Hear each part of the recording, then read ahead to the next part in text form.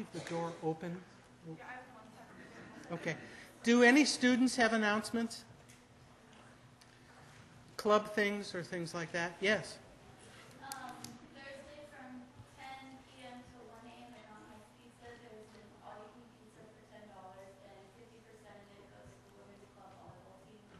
So, there's some really good pizza, all-you-can-eat. Mountain Mike's? Yeah, again, Okay. And you can eat pizza all day long? Oh, 10 p.m. to 1. I thought she said 10 a.m. and I thought. Yes. The operas are starting um, this Thursday. The what? The opera, The opera. um, it'll be in person theater. Um, it's Thursday through Sunday. Sunday's a matinee show, so it's the afternoon. And then next week they're showing two. And the opera is? It's um, three operas. It's called Suburbia, and it's three separate operas that kind of take place over a long span of time. They're all really good, and they're in English, so you can understand them. They're in English. They're in That's- English. What more could you ask for? Okay, we're going to get started now. Um, the topic for today is the sociology of genocide. I want to introduce you. Oh, Yes. I think it's very important. Even though you all know Myrna Goodman, I want to introduce Myrna Goodman because she is incredible. I haven't known her that long, but she's incredible, an incredible person, an incredible scholar, and I have the honor of being mentored by her. So this is a great blessing uh, for all of us and for me. So the, just Myrna Goodman.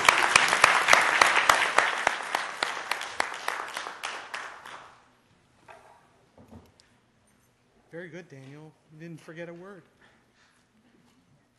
Okay. Um, I, can hear a buzz. It's not coming from the microphone, but it's over there. Okay.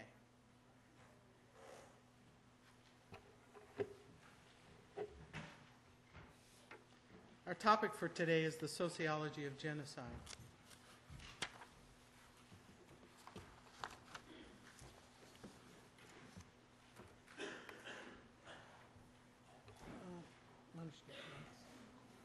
Okay. Boy, that'll put you in a mood, won't it? Um, the first thing I'm going to do is just give you a general introduction and then do a historical overview of genocide. You know, it didn't just start um, with our recent memory of uh, either the Holocaust or Rwanda. Um, and then I'm going to talk about the process of defining genocide and the influence of Raphael Lemkin in that process of defining it. And also talking to you about why it was so important to find a definition for genocide. Um, then I'm going to talk about the sociology of genocide and the social processes that are connected to the Holocaust so that when we discuss genocide, it is always very helpful to have some sort of example that we can use to make sense of, the different processes that go on. Um, and then we're going to see eight steps in understanding the process of genocide. And then I want to end with um, some words about what, what can be done. What can be done in the world that we live in.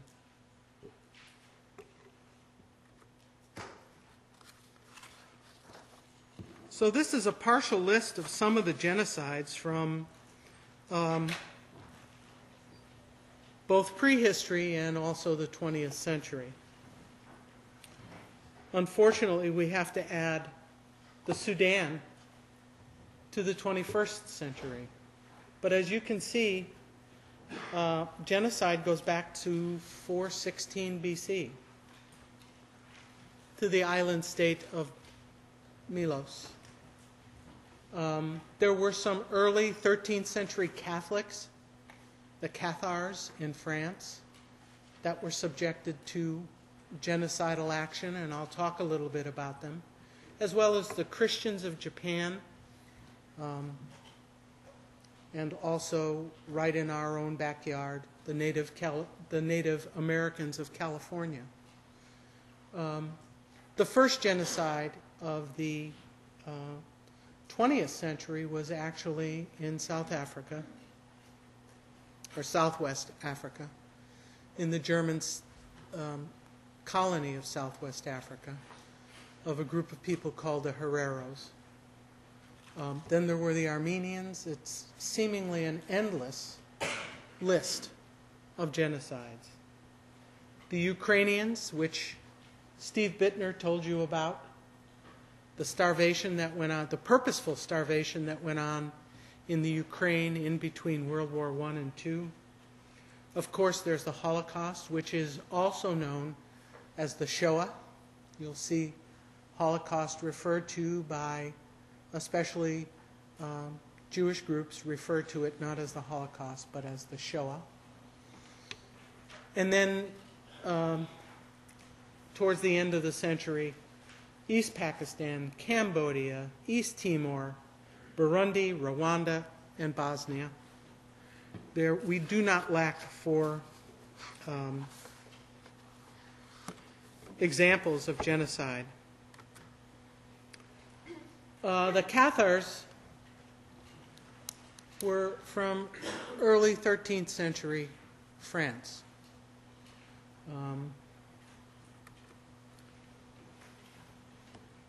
as you can see, the crusade was aimed at them, and they were members of a Christian sect that created their own sacraments. And unlike previous movements that challenged the church or were heretical, uh, Catharism was a large and popular mass movement cent- centered in the Languedoc region of France. So these people were uh, persecuted and murdered because of their beliefs and the way that their beliefs contradicted uh, the standing church. The Christians of Japan. When Japan opened to the Western world and to the rest of the world, the first people there, of course, were Catholic missionaries. The people who also settled the Philippines and uh, uh, came to the Southwest in the United States. And, and they came and converted the Japanese to Catholicism. 285,000 of them were murdered in about a 30 year period. And this is a, an example of an entirely ideological genocide. The only reason the Catholics were murdered was because of their religion.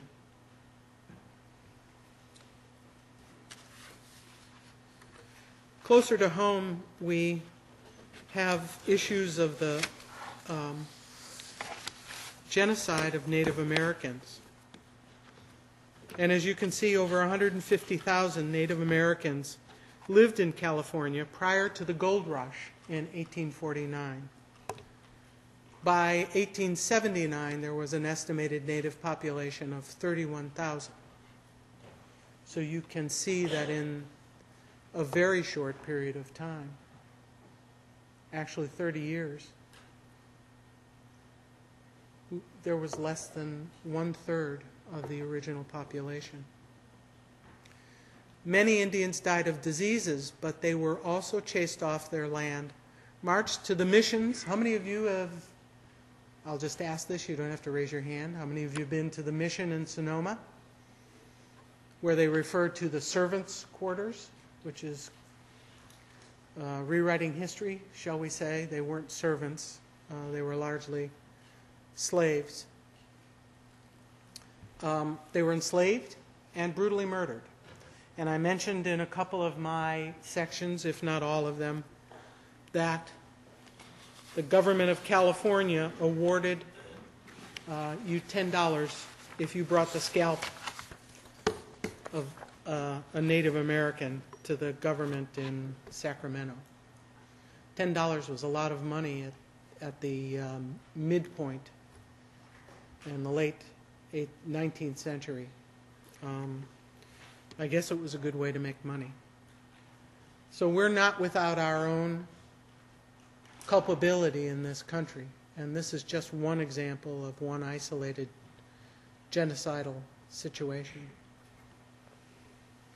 Then, of course, there is the Armenian genocide, which we will be learning more about as we move along. It was the first genocide of the 20th century, and uh, one million Armenians died because of massacres and forcible removals uh, during the government of the Young Turks in a three year period in the Ottoman Empire.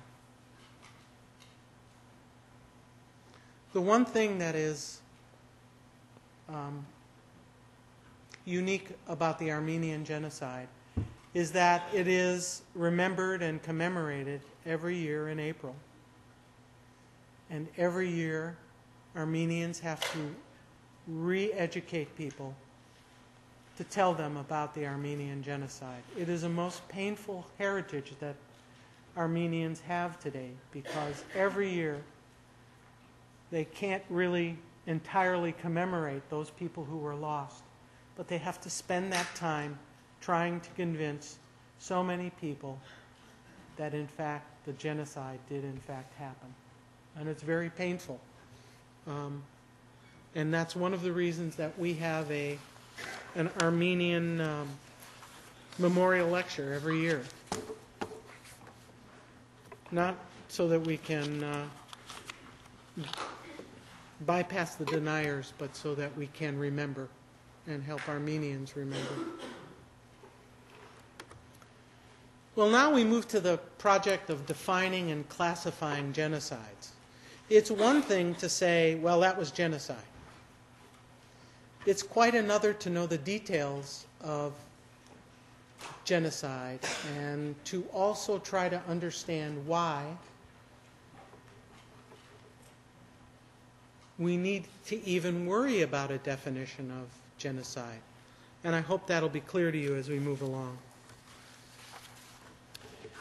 Before the term genocide was actually coined, um, the way to describe mass death was they talked about barbarism and mass murder or mass death. Um, in the 19th and 20th century, uh, attempts um, included international treaties that aimed at preventing war crimes and crimes against humanity, barbarism, mass death, mass murder, crimes against humanity. And some of the things that were done to try and prevent um, or to understand legally what genocide was. One was the Geneva Conventions, which we hear about now, and those were essentially agreements between international, the international community about what was fair in war. How were captured soldiers treated? How were civilians to be treated? So the Geneva Convention was essentially uh, a way in which the and I use the word advisedly, civilized countries of the world agreed on how they would carry out war. Um, kind of like the NBA rulebook. Um, there were also va- uh, um, various treaties at The Hague, where the International Co- uh, World Court is now, but previously, which forbade, you know, were forbade the murder of POWs, non combatants, or acts such as sinking, sinking passenger ships. So there were these attempts to understand how um, the international community should um, describe some of the large scale um, acts of violence against people. But what is the origin of the term genocide?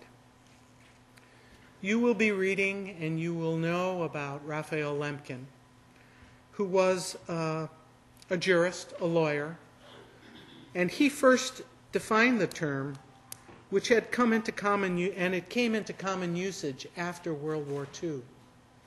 Um, I have some information about Lemkin. He is one of those people that you'll know about in history that remain remarkable and admirable. But the reason that there was a need for a term to describe um, the deliberate and systematic destruction of the European Jews, um, which was um, informed by the Armenian experience as well, is because you had to have a legal definition before you could take legal action. And in, and in law, you know, you had to spell out exactly what something was a violation of. The other reason there was this impetus to define genocide was that the total unique way in which the Germans went about murdering people was so abhorrent. It was not like mass murder or barbarism. It was something much more serious. And Lemkin, who was a Polish Jew, uh, who grew up and experienced pogroms, one of the words in your um, glossaries in your reader, systematic or random attacks against Jews. He watched people he knew murdered by Russian Cossacks rampaging through where he lived, and in fact, several times had to hide from those mobs. He was born in 1901 in eastern Polish, Poland. He was the son of a farmer, a Jewish farmer, but his mother was a very educated woman. And she saw to it that he was broadly educated, and so he went to schools and universities in Poland, Germany, and France. And when the Germans occupied Poland after the start of World War II in September of 1939, he fled Poland and came to the United States. He was unceasing in his pressure to make sure that the world community, now remember this was before the United Nations was formed, that the world community came up with some sort of laws against the kind of behavior that he was seeing. And he, in fact, was the one who um, framed and came up with the definition of genocide. Genocide, if we break it into its parts, geno comes from the word, the Greek word genos, which means birth, race of a similar kind. So people who are born of a similar background. And side from the French word sida, which means to cut or to kill.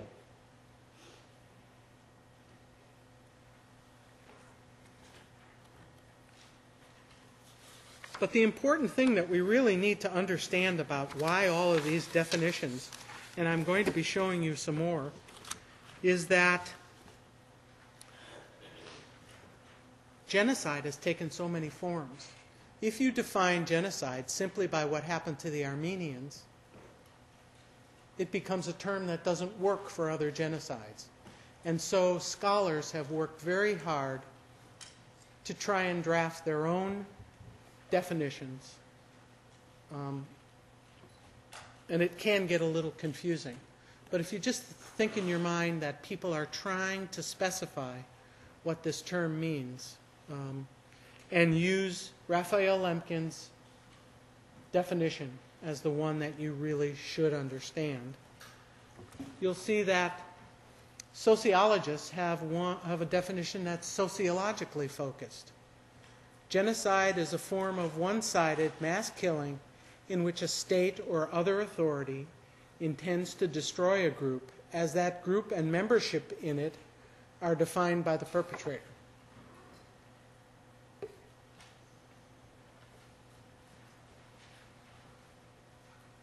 See the elements in there? State sponsored mass murder with the intent to destroy a group, not in part, but in whole. And that group has been defined not by itself, but by the perpetrator. And if you think about the Holocaust, um, you can see how that comes to be.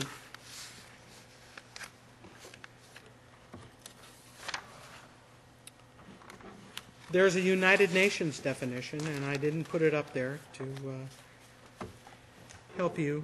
Um, you can find it anywhere on the net, and I will put that link up. It's got three main articles. The first, and it was passed um, on the 9th of December, 1948. And Lemkin was alive long enough to see it passed. The, the contracting parties confirmed that genocide, whether committed in time of peace or in time of war, is a crime under international law which they undertake to prevent and punish. Article 2. In the present convention, genocide means any of the following acts committed with the intent to destroy, in whole or in part, a national, ethical, ethnical, racial, or religious group, such as killing members of the group, causing serious bodily or mental harm to members of the group, deliberately inflicting on the group conditions of life in, calculated to bring about its physical destruction in whole or in part, imposing measures intended to prevent births within the group, forcibly transferring children of the group to another group.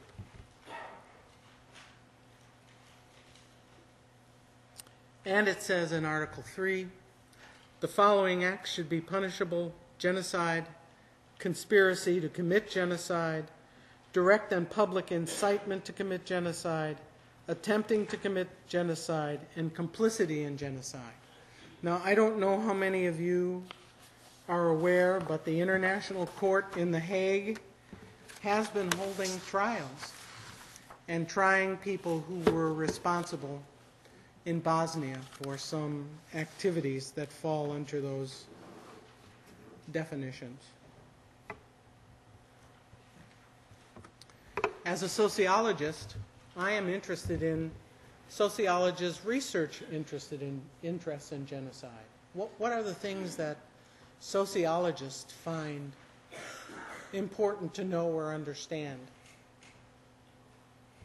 Well, we focus our understand our research to broaden our understanding of the specific details of genocidal acts and events.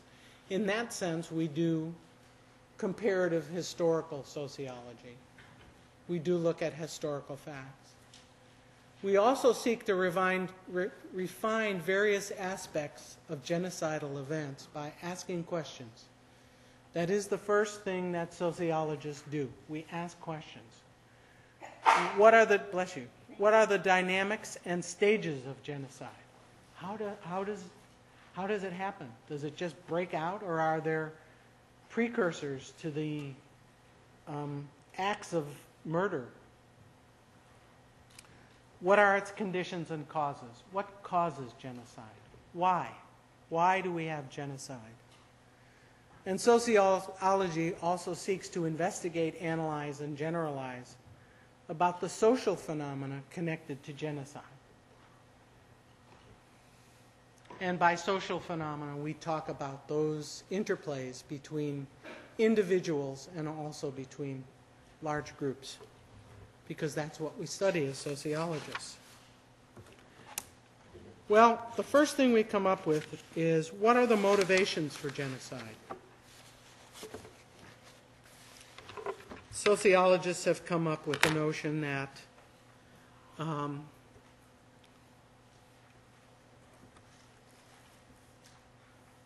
genocide um, is done to eliminate a real or potential threat. This is perhaps the oldest form of genocide, starting with the development of agriculture and settlement, and this form was very common in antiquity. The second is to terrorize real or potential enemies, to scare the death out of them. This requires large armies and investment in occupation. Examples include the terror of Genghis Khan, Athens' murder of the men of Milos, Shaka Zulu's empire in South Africa, and the Soviet manufactured famine in the Ukraine. The third thing is genocide to acquire economic wealth. This type also was probably developed in antiquity. I think uh, of um, Genghis Khan and uh, the Mongols sweeping over Europe. And it's been associated with the settlement of the New World. We don't need to go that far back. Um, the colonial empires um, were definitely um, done to acquire economic wealth. And examples include the Pequots of New England, another case of uh, Native Americans, and the Hereros of Southwest Africa. The fourth is probably the one that, as a sociologist, interests me the most, and that is to implement a belief, a theory, or an ideology. And it is more recent in origin, and it differs from the first three in that the primary victims are members of the perpetrator state. They're not in some other country. And this is often carried out at great cost to the perpetrators. They're focusing, the Germans focused, the Nazis focused on ideology and not really the consequences of what they were doing. The expenditure of um, manpower, etc., was at great cost to them, this belief in creating a master race. And examples include the massacre of Turkish Armenians, the Holocaust, the Cambodian gen- and the Cambodian genocide under Pol Pot.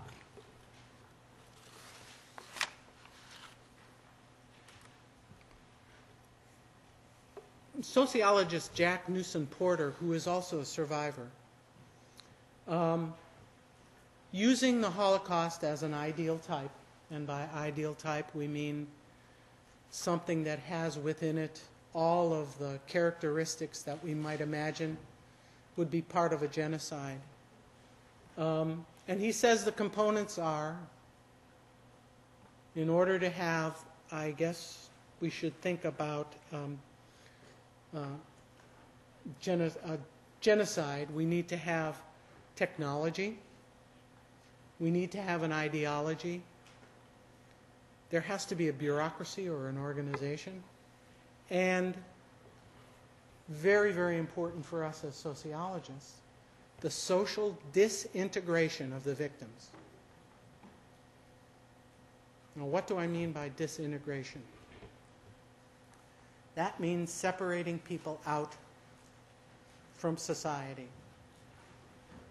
You've read enough now from uh, Bergen about the Holocaust to know how purposeful that disintegration was when it came to the Jews and also to the gypsies.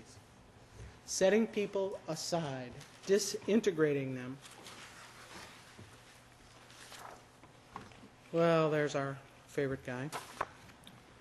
Um, ideology. Well, ideology is a belief system. Anything that is a belief system can be described as an ideology.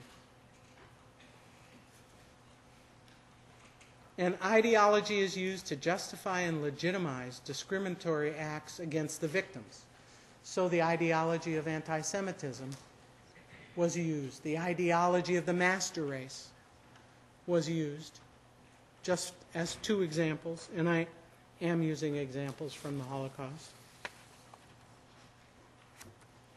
So, perpetrators use ideology to render their victims isolated, powerless, vulnerable, and outside the universe of moral obligation.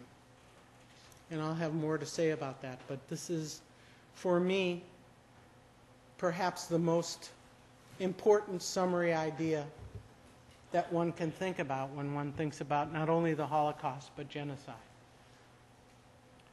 Setting people outside the universe of moral obligation.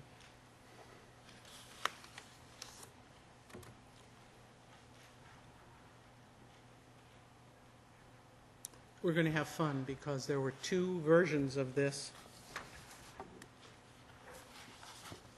on that flash stick, that flash drive, and we've got the old one here.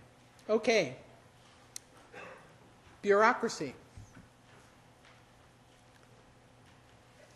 Many of you have had your own experience with a bureaucracy if you've ever tried to collect your financial aid, if you've ever had to deal with the Department of Motor Vehicles. Well, the Holocaust had its bureaucracy, and it was composed of politicians and political leaders. There were top level decision makers, military leaders, clerks, military personnel, guards, and of course, ordinary people.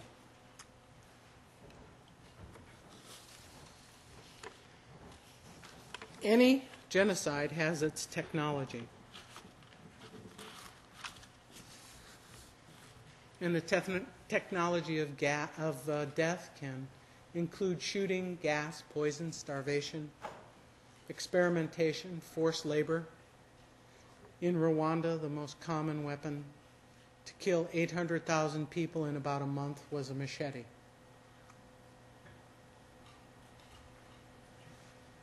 Absolutely, completely brutal, if you think about it. A machete. Which were made in China, by the way, most of them.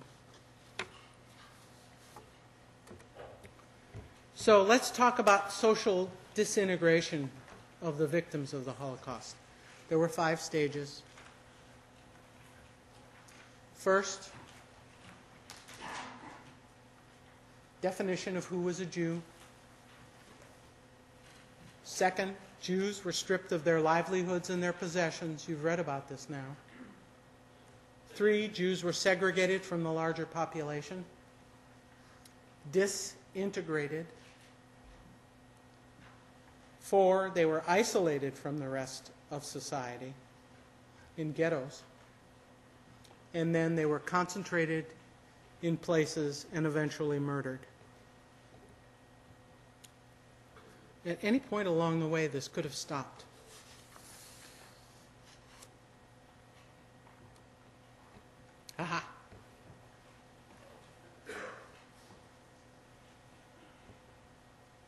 Universe of moral obligation. Those of you who are sociologists or who have taken social theory know who Emil Durkheim was. And he talked about solidarity and moral obligation. And this idea comes from his ideas. And the universe of moral obligation is defined as that circle of persons toward whom obligations are owed, to whom the rules apply, and whose injuries call for attention and healing. Kind of abs- abstract, but think about what your own universe of obligation is. Who are you obliged to?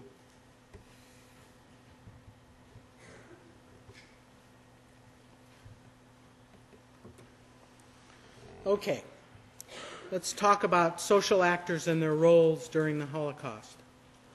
They divide into four categories there were victims, perpetrators, rescuers, and bystanders.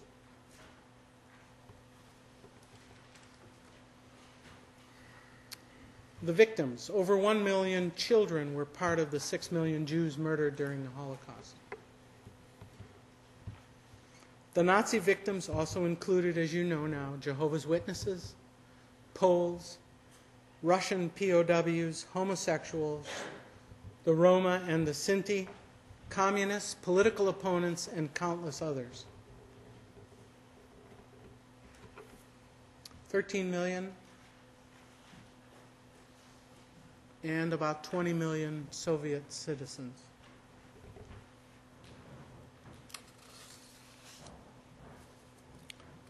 Who were the perpetrators? Well, we have Adolf Hitler. Nothing would have happened without him, but as I have been given to tell you, he was the leader, but he was not the supreme perpetrator. Perpetrators actually got their hands dirty, as it were. Himmler in the middle. And uh, someone who was killed rather early in the war, Heydrich. Uh, he is the one, if you haven't learned about it yet, who called the Wannsee Conference so that they could decide in 1943 uh, what Jews were left to kill, especially the ones in Western Europe. There were the desk murderers, the people who calmly sat at their desks and sent trains to Auschwitz without any notion that they could stop what they were doing. They just went ahead and did it. And they're called desk murderers. I would suggest to you that we probably still have desk murderers at work in the Pentagon. Willing executioners, people who were sent to the east.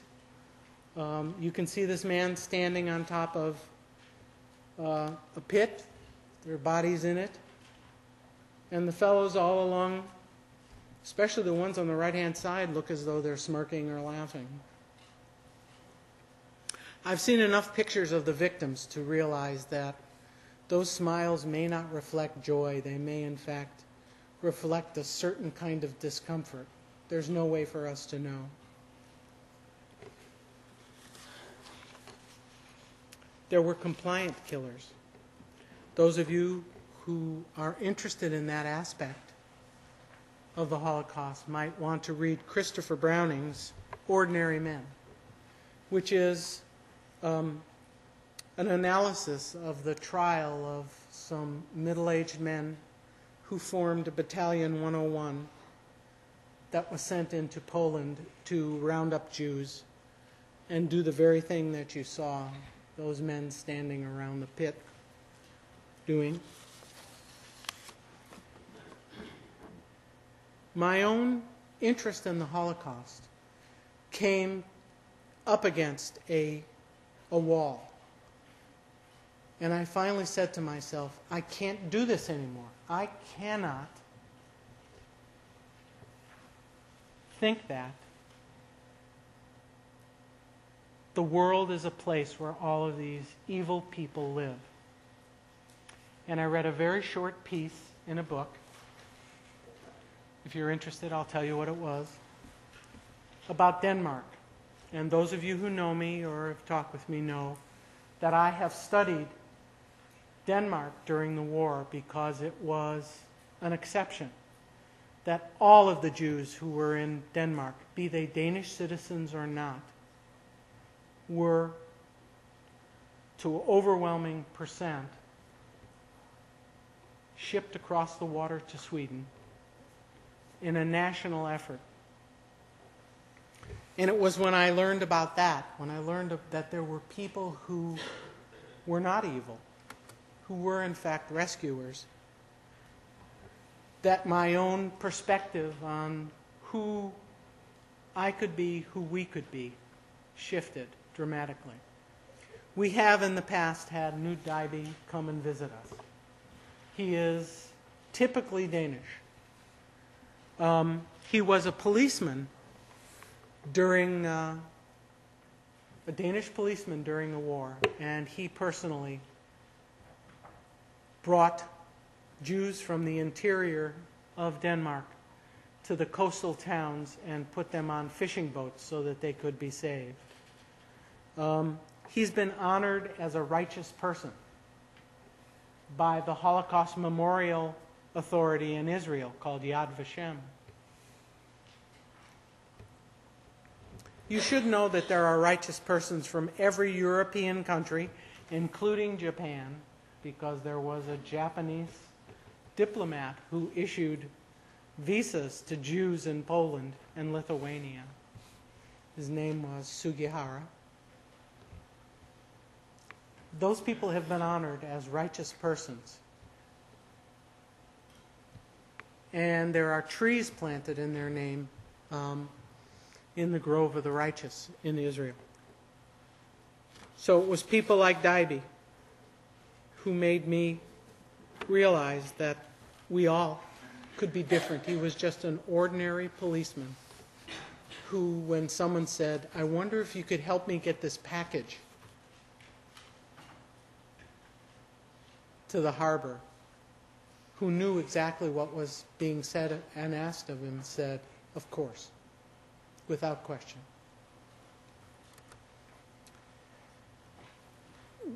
The last category of people um, that I want to talk about are bystanders. And bystanders were ordinary people who did not act. They complied with the laws, tried to avoid getting involved in doing anything wrong. And most just wanted to get along with their lives. Uh, during the Holocaust, the collective world's response toward the murder of millions of people was minimal. So one might say, as a nation, the United States was a bystander nation. Elie Wiesel, who's been in the news of late, has said that he, he, he on some level can understand why someone might be a perpetrator. He certainly understands how people became victims. And he says, I wish there were more rescuers, but am grateful for them. But the people that I despise, the people who it is so hard to forgive, are the bystander. People who could have done something.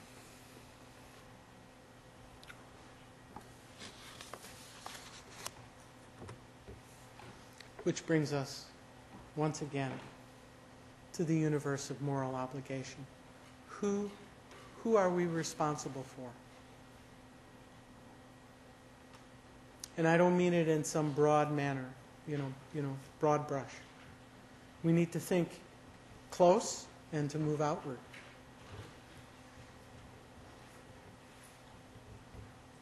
Who do we feel responsible for? Is it just ourselves and our immediate family?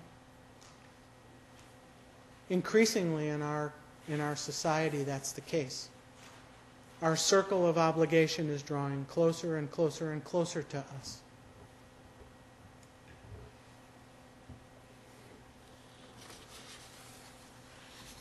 Okay.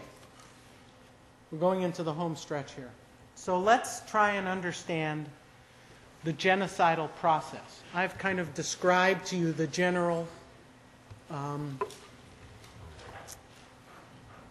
processes, but let's try and understand the genocidal process. And I am working here with some ideas that were created by uh, Dr. Gregory Stanton at Genocide Watch. And included in some of the things I'm going to say are, are some of the things that he suggests we need to do to prevent genocide. He says that there are eight elements of genocide. Classification, uh, I'm going to go through them one by one. Symbolization, dehumanization, organization, polarization, preparation, extermination, and that the last stage of genocide is denial.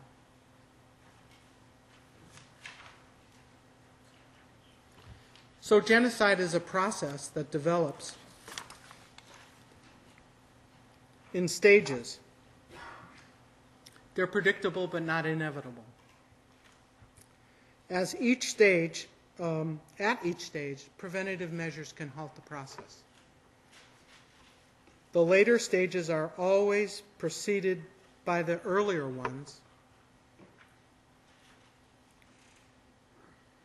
but the early ones continue to operate through the whole process. So let's look at the first one, which is classification. All cultures have categories to distinguish people into us and them. When you read James Waller, you'll see how that process takes place and how universal it is. We divide people by ethnicity, by race, religion, or nationality. German and Jew, Hutu and Tutsi. These bipolar societies, like us, in some level, white and black, especially ones that lack mixed categories like Rwanda and Burundi, are the most likely to have genocide. The main preventative measure is to create a sense of what? A sense of humanity.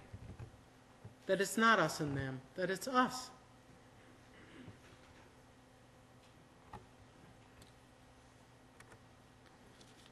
The second um, step is symbolization. What you see there is a, well, it's something that allows people to move about, a movement pass. Uh, it's got a big J on it. What do you think that J means? Jew. Uh, those are passports. Big J on it. Did the Germans come up with that? No. The people who came up with the idea of putting a, a J identifying Jews on a passport were the Swiss. Because lots of Jews were trying to get out of Germany and coming to Switzerland, and they didn't want all of those German Jews mucking up Swiss society. So they said to the Germans, just just put a J on their pa- you know, their passport, and we'll know they're Jews, and we can turn them away. So you know that we we we give names things to names to things that we classify. We call people Jews, we call them gypsies. Classification and symbolization are universally human actions. You'll find that out again when you read Waller. And they do not necessarily result in genocide unless they had they lead to the next stage, which is dehumanization. This is a depiction of a Jew on the cover of a book, I think. You can see on the one hand, he is cradling a cutout of the Soviet Union, which leads one to believe he's a communist. And on the other hand, he's got gold, which would lead you to believe he's a capitalist. And um, the German at the bottom is the eternal Jew.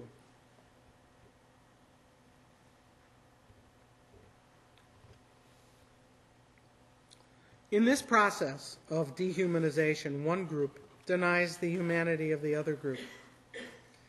And members of it are equated with animals, vermin, insects, or diseases.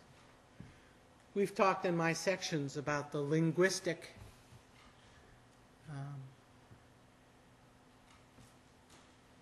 devices that were used by the Nazis, how they talked about extermination.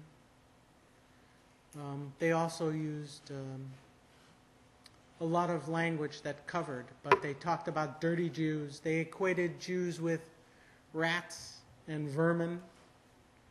Well, that was all in the process of dehumanization. And what that dehumanization does is it overcomes our natural revulsion against violence. One of the things that Christopher Browning concluded after studying the records of this trial was that the men who killed, shot women and children and elderly men and young boys, just like the one that described to you what happened to his father, had been so indoctrinated for so many years about how worthless Jews were that it was not difficult to pull the trigger. That in fact they were doing the world a favor by getting rid of all of these Jews, be they little children or women or elderly people.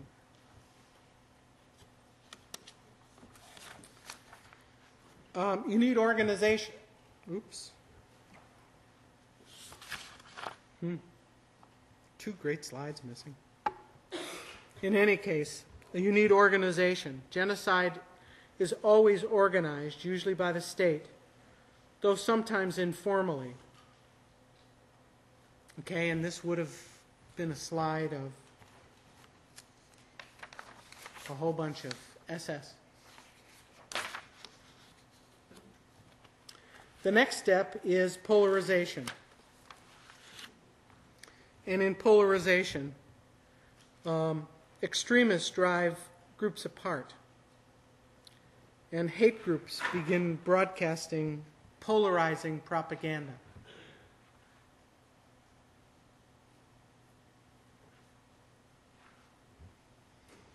You remember the sign that said, Jews are not wanted here? That would be an example of that. And then this is an example of identification. Victims are systematically identified and separated out because of their ethnic or religious identity. This is actually a chart. You can buy the poster at the Holocaust Museum of all of the various markings that people wore on their clothes, you know. Um, you can see those special ones down at the bottom. Race defilers, those were people who had sexual relations with Jews. Um, you can see the pink triangles for the, um, they even marked uh, homosexual Jews. The habitual criminals wore green. The political prisoners had red, as if to indicate the Soviet Union.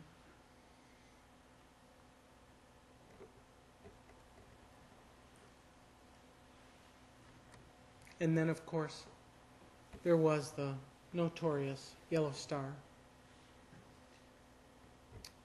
Some people believe um, or have heard that in Denmark, the king wore a yellow star to mark his solidarity with his people. It's not true. But people tell the story as a way of kind of reminding us that the people of Denmark did have solidarity, not only with Jewish Danes, but with Jews living in Denmark. And there were a lot of them who were not citizens.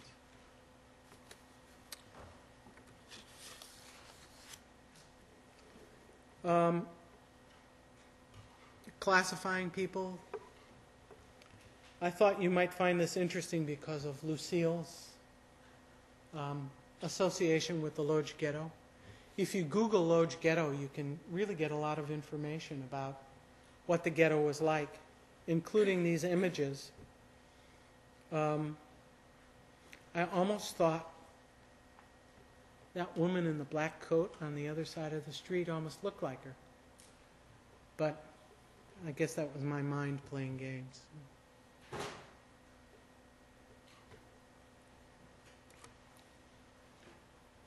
The last step is extermination. Um, this is a crematorium adjacent to the gas chamber in Auschwitz. This is in Auschwitz 1. not Birkenau, which was Auschwitz too. And it was preserved, but in uh, Birkenau, um, the, both the gas chambers and the crematoria were blown up. One in an insurrection and the other by the Germans as they retreated. But the last stage is denial.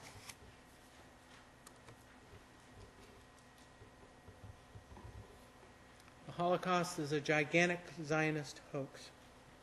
It's a lie. Not surprising that the people who are dressed up there are Ku Klux Klan. This is the last stage. In fact, um, towards the end of the genocide, people will dig up the evidence and try and hide it um, in an attempt to cover up what they had done. They intimidate witnesses. They deny that they have committed any crimes and often blame what happened on the victims. It's happened in almost every Holocaust that we know of in the 20th century. It's especially galling with the Armenian genocide because it is so far distant in history. It's really hard for us to make any kind of evaluation. The Holocaust is more difficult for deniers to not appear to be out of their minds, which I believe they are, because there is so much evidence so much testimony, so many records, so much evidence. Um, but the last step is denial. Samantha Powers wrote a book called The Problem from Hell America and the Age of Genocide. You will be reading a few passages from that book, a few chapters. And what she says in there is that we as a, the American government has been a complete failure in stopping any of these genocides. And she analyzes why she thinks that's the case. And she reminds us that intolerance and indifference are a most lethal pair of foes. And she says that it's imperative that we attend to the current situation in Darfur. Not in that book, but in an essay she wrote for Time magazine. Because it is a region on the edge of genocide. I have been hearing about Darfur as a something where there is a genocide watch from the Committee on Conscience. And now we believe a full blown genocide is going on. The difference? There are really people taking a stand, and in fact, the college organization that is working actively against to raise awareness is called STAND. This was taken in a refugee camp in Chad.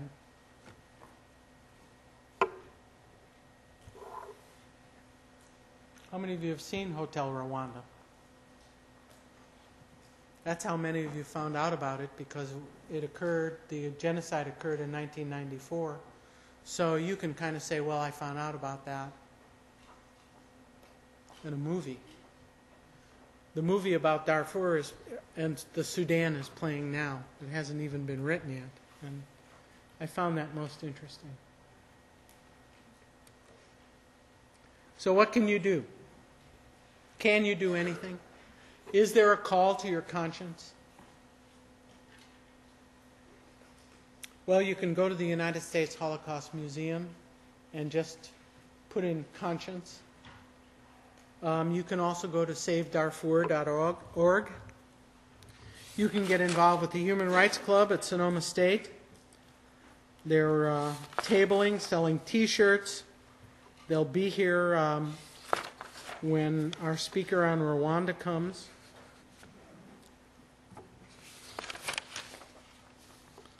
you can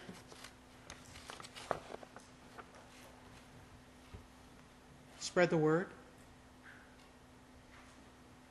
Usually in the fall, I say to my students, you know, when you go home for Thanksgiving, you can ruin everybody's dinner by telling them what's happening in the Sudan. So now it's Easter dinner you can ruin. Um, I know many of you talk with your parents and tell them about some of the things that we're learning about here. Um, people have very busy lives. And we're not too fond of the mainstream media, which has, to a certain extent, covered this. But we need to do it word of mouth. They're not going to do it for us. And we need to think about this. What is our universe of moral obligation?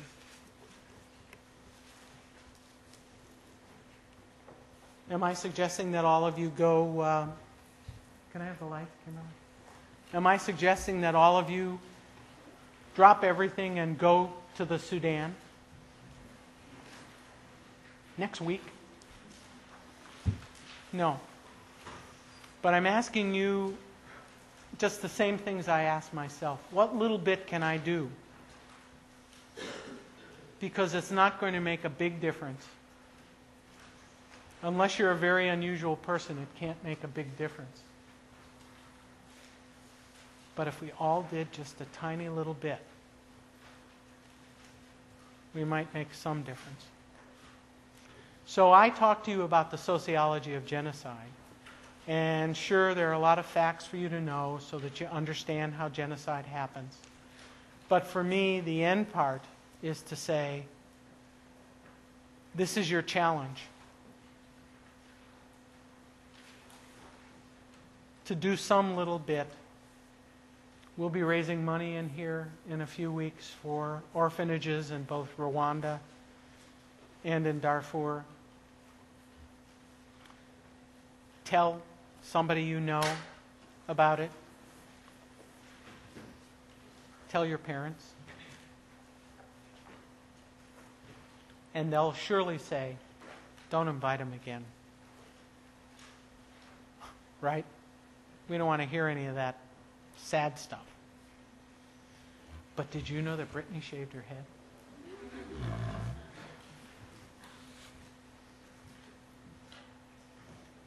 Okay, that's, that's it for today.